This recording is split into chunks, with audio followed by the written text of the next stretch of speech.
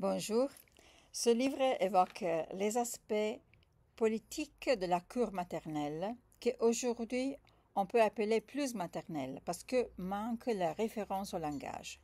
Les plus maternelles désignent un excès de soins dont le trop d'amour, si l'on peut dire, a pour effet de mettre en échec la fonction parentale, et ceci quel soit l'adulte s'est voué à jouer ce rôle.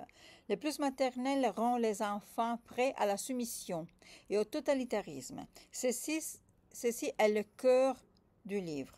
Là se situe la genèse de la barbarie et de la haine pour la représentativité. La pandémie a révélé un nouveau type de, citoyenne, de citoyenneté qui était, qui était en cachet auparavant, les citoyens enfants.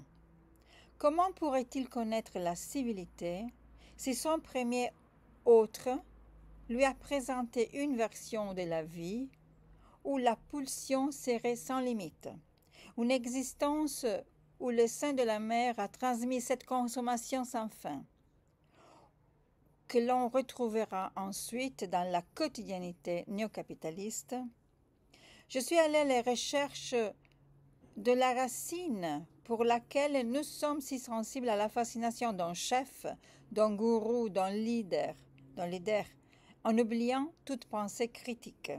Nous sommes aujourd'hui dans une époque particulièrement dépourvue, dépourvue de pensée critique, éthiquement misérable et barbare. Être fasciné est la cifre de l'époque. Ils nous veulent hypnotiser par les politiciens comme par les influencers. Nous sommes des followers. La fascination hypnotique naît avec la naissance de l'homme. C'est l'enfant capté par les yeux et les seins de la mère. C'est là que chacun de nous a subi la première fascination, au moment où la pensée n'est pas encore née. Nous pouvons dire que l'éducation est ce long chemin de libération, la, la, naissance de la subjectivité, je dirais, est ce long chemin de libération, d'affranchissement de cette captation et soumission originelle. Il faut souligner que la barbarie est en régression. Ce n'est pas la naissance de quelque chose de nouveau, d'inédit, mais l'émergence de quelque chose d'ancien.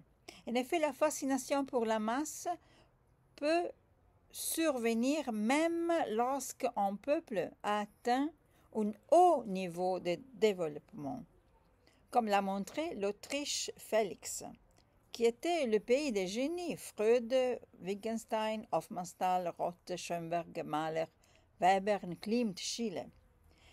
Barbare, nous dit Proust, n'est pas celui qui n'a jamais connu une civilisation, mais celui qui, l'ayant connue, l'oubli et en trahit les valeurs. Le programme de la barbarie est l'anti-humanité. La barbarie efface l'homme. Sous cette euh, sorte de renaissance autrichienne, le phénomène carsique destructeur était nourri par le vide des valeurs d'une collectivité entière. Est-ce que nous ne sommes déjà dans une modestie éthique, dans un monde sans qualité Merci.